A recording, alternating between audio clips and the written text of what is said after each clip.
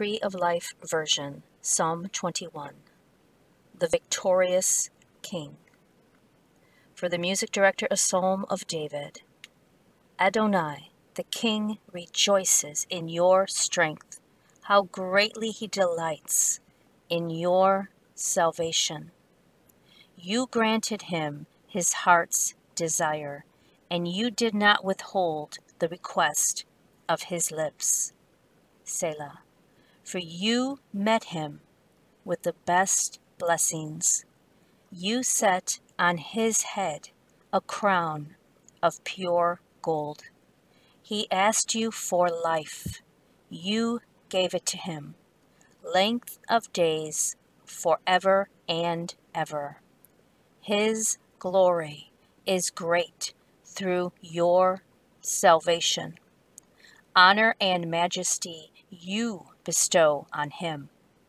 For you bestow on him eternal blessings. Gladden him with joy in your presence. For the king trusts in Adonai and in the loving kindness of Elyon.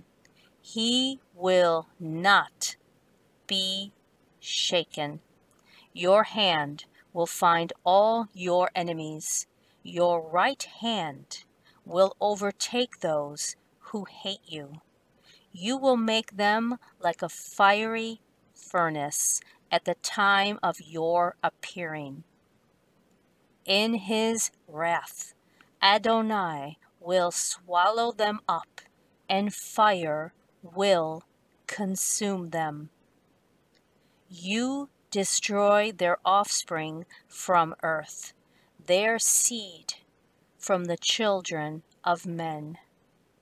Though they intended evil against you and devised a plot, they cannot succeed. For you make them turn their backs. You aim your bowstrings at their faces. Be exalted, Adonai, in your strength. We will sing and praise your might.